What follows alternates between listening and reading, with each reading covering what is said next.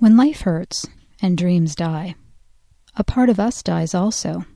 It has to be that way. We die to the old, so there's room for something new to take its place. You're constantly evolving and changing into someone new. Sometimes life gives you a crisis, and you are forced to change and grow in ways you didn't think you could.